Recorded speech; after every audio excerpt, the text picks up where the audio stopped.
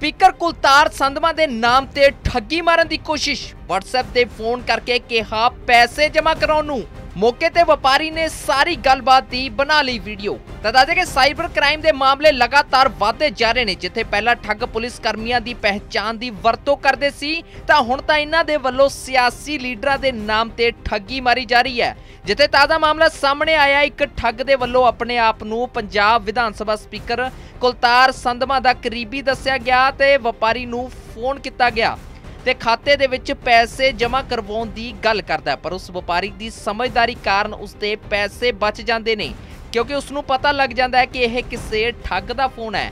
ਤਾਂ ਦੱਸਦੇ ਕਿ ਮਾਮਲਾ ਫਰੀਦਕੋਟ ਤੋਂ ਸਾਹਮਣੇ ਆਇਆ ਜਿੱਥੇ ਇਸ ਸੰਬੰਧੀ ਰਾਜਨ ਜੈਨ ਨੇ ਦੱਸਿਆ ਕਿ ਉਸ ਨੂੰ ਇੱਕ ਵਿਅਕਤੀ ਨੇ ਫੋਨ ਕੀਤਾ ਜੋ ਕਿ ਕੁਲਤਾਰ ਸੰਧਮਾ ਦੀ ਆਵਾਜ਼ ਕੱਢ ਕੇ ਗੱਲ ਕਰ ਰਿਹਾ ਸੀ। ਤਾਂ ਉਸਨੇ ਬੱਚੇ ਦੀ ਫੀਸ ਚੰਡੀਗੜ੍ਹ ਯੂਨੀਵਰਸਿਟੀ ਦੇ ਖਾਤੇ ਦੇ ਵਿੱਚ ਭਰਨ ਦੀ ਗੱਲ ਕਹੀ, ਤਾਂ ਉਹਨਾਂ ਕਿਹਾ ਕਿ ਉਹ ਵਿਅਕਤੀ ਇਸ ਸਬੰਧ ਦੇ ਵਿੱਚ ਵਾਰ-ਵਾਰ ਫੋਨ ਕਰਦਾ ਰਿਹਾ, ਜਿਸ ਤੋਂ ਬਾਅਦ ਉਸਨੇ ਕੁਲਤਾਰ ਸੰਧਵਾ ਨੂੰ ਵੀ ਇਸ ਸਬੰਧ ਦੇ ਵਿੱਚ ਸੂਚਿਤ ਕੀਤਾ। ਉਹਨਾਂ ਕਿਹਾ ਕਿ ਫੋਨ ਕਰਨ ਵਾਲਾ ਵਿਅਕਤੀ ਕਾਫੀ ਸ਼ਾਤਿਰ ਸੀ ਕਿਉਂਕਿ ਉਹ ਸਪੀਕਰ ਸਾਹਿਬ ਦੇ ਘਰ ਆਉਣ ਜਾਣ ਵਾਲੇ ਲੋਕਾਂ ਦੇ ਨਾਮ ਅਤੇ ਪੀਏ ਆਦਿ ਬਾਰੇ ਗੱਲਬਾਤ ਕਰ ਰਿਹਾ ਸੀ। ਉਹਨਾਂ ਦੱਸਿਆ ਕਿ ਆਨਲਾਈਨ ਪੇਮੈਂਟ ਜਮ੍ਹਾਂ ਕਰਵਾਉਣ ਤੋਂ ਬਾਅਦ ਉਹ ਵਿਅਕਤੀ ਇਹ ਰਕਮ ਲੈਣ ਦੇ ਲਈ ਸਪੀਕਰ ਸਾਹਿਬ ਦੀ ਕੋਠੀ ਤੇ ਆਉਣ ਦੀ ਗੱਲ ਕਰਦਾ ਸੀ ਅਤੇ ਨਾਲ ਬੈਠ ਕੇ ਚਾਹ ਪਾਣੀ ਪੀਣ ਦੀ ਵੀ ਉਸਨੇ ਗੱਲ ਕਹੀ ਸੀ। ਤਾਂ ਉਹਨਾਂ ਦੱਸਿਆ ਕਿ ਇਹ ਸਾਈਬਰ ਕ੍ਰਾਈਮ ਦਾ ਮਾਮਲਾ ਹੈ।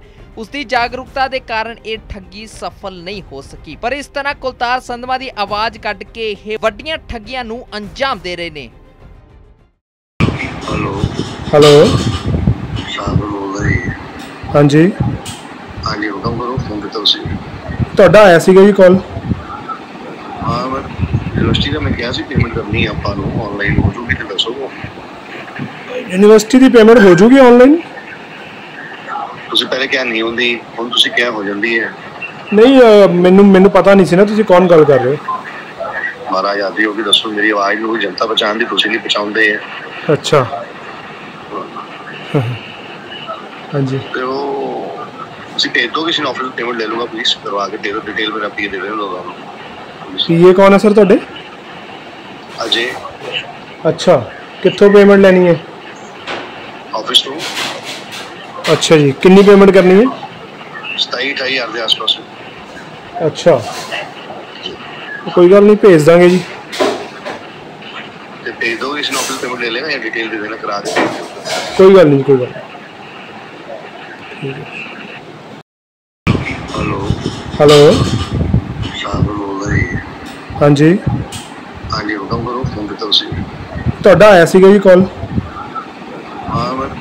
ਯੂਨੀਵਰਸਿਟੀ ਦਾ ਮੈਂ ਕਿਹਾ ਸੀ ਪੇਮੈਂਟ ਕਰਨੀ ਹੈ ਆਪਾਂ ਨੂੰ ਆਨਲਾਈਨ ਹੋ ਜੂਗੀ ਤੇ ਦੱਸੋ ਯੂਨੀਵਰਸਿਟੀ ਦੀ ਪੇਮੈਂਟ ਹੋ ਜੂਗੀ ਆਨਲਾਈਨ ਤੁਸੀਂ ਪਹਿਲੇ ਕਿਹਾ ਨਹੀਂ ਹੁੰਦੀ ਹੁਣ ਤੁਸੀਂ ਕਿਹਾ ਹੋ ਜਾਂਦੀ ਹੈ ਨਹੀਂ ਅਹ, ਮੈਨੂੰ ਮੈਨੂੰ ਪਤਾ ਨਹੀਂ ਸੀ ਨਾ ਤੁਸੀਂ ਕੌਣ ਗੱਲ ਕਰ ਰਹੇ ਹੋ ਮਹਾਰਾਜ ਆਦੀ ਹੋ ਕੇ ਦੱਸੋ ਮੇਰੀ ਆਵਾਜ਼ ਨੂੰ ਕੋਈ ਜਨਤਾ ਪਛਾਣਦੀ ਤੁਸੀਂ ਨਹੀਂ ਪਛਾਣਦੇ ਹੈ ਅੱਛਾ ਹਾਂਜੀ ਤੇ ਉਹ ਤੁਸੀਂ ਭੇਜ ਦੋ ਕਿਸੇ ਨੂੰ ਆਫਿਸ ਪੇਮੈਂਟ ਲੈ ਲੂੰਗਾ ਪਲੀਜ਼ ਕਰਵਾ ਕੇ ਦੇ ਦਿਓ ਡਿਟੇਲ ਮੇਰਾ ਪੀ ਦੇ ਦੇਣਾ ਤੁਹਾਨੂੰ ਪੀਏ ਕੌਣ ਹੈ ਸਰ ਤੁਹਾਡੇ ਅਜੇ ਅੱਛਾ ਕਿੱਥੋਂ ਪੇਮੈਂਟ ਲੈਣੀ ਹੈ? ਆਫਿਸ ਤੋਂ। ਅੱਛਾ ਜੀ ਕਿੰਨੀ ਪੇਮੈਂਟ ਕਰਨੀ ਹੈ?